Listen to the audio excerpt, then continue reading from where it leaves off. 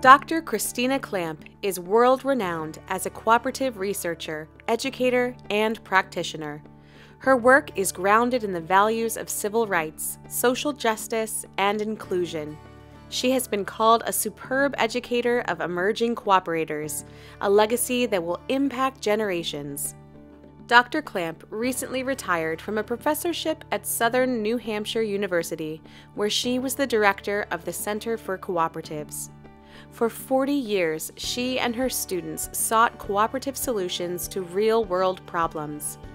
SNHU students created a youth housing cooperative, developed a food co op business plan, launched shared service cooperatives, and established a co op directory. Now, hundreds of SNHU alumni work on community economic development projects all over the world. Chris Clamp was born in 1953 in Amityville, Long Island.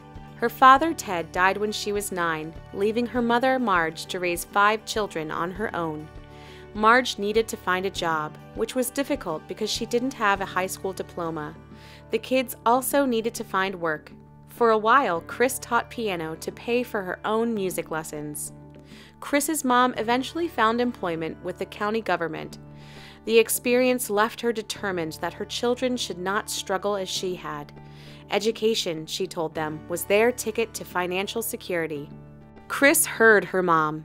She got a scholarship to St. John the Baptist High School, where the nuns instilled in her an awareness of civil rights and social justice. The sisters hoped their bright student might have a religious vocation, but Chris had other plans. With encouragement from an English professor at her first college, she transferred to nearby Friends World College. She was moved by the Quaker influenced values of the school, centered on human dignity and community. As she watched her male peers being drafted to serve in Vietnam, Chris looked for opportunities to learn from cultures outside of the United States. She was ready to learn about the world from a different perspective.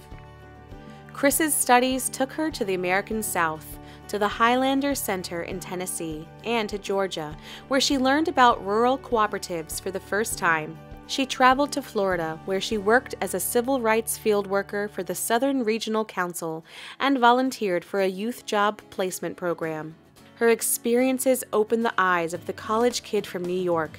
She was stunned, for example, to hear her landlord in Broward County brag about owning a lynching tree. Chris studied social justice movements in Costa Rica and Guatemala. In India, she studied the Gandhian model of social justice and cooperatives. While visiting Nepal, she met her future husband, Don Ganini. On their first date, Don helped her exchange dollars for rupees on the black market.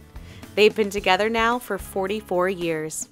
By the time Chris enrolled in grad school at Boston College, she was clear about her purpose to do research to support a social solidarity economy. She traveled to the Basque region of Spain to study the world's largest worker cooperative, Mondragon. As part of her investigation, she interviewed 50 co op managers and co op founders. She returned in subsequent years for follow up interviews. The resulting research continues to inform worker co op human resource strategies worldwide. Throughout her career, Chris served multiple terms on the boards of influential cooperative organizations, including NCBA CLUSA, the ICA Group, the Food Co op Initiative, and the Local Enterprise Assistance Fund, LEAF. She offers her expertise to many small community economic development projects as well. In New Hampshire, she helped establish a farmers market co op in North Carolina, she organized training for black led community development groups. In Cincinnati, she developed curricula for Co op Cincy, a nonprofit incubator of worker cooperatives. Chris even advised her daughter Caitlin on how to set up Samara Collective, a communications co op. Although she is retired now from teaching, Chris continues her research. In 2022, she co edited a collection of 30 essays highlighting the story of Mondragon and its influence in the world.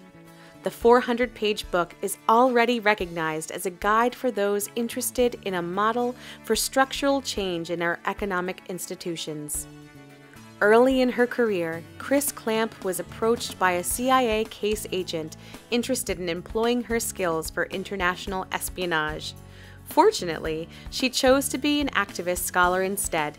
For her pioneering work in the study and promotion of cooperative ownership of business, we honor Dr. Christina Clamp tonight with induction into the Cooperative Hall of Fame.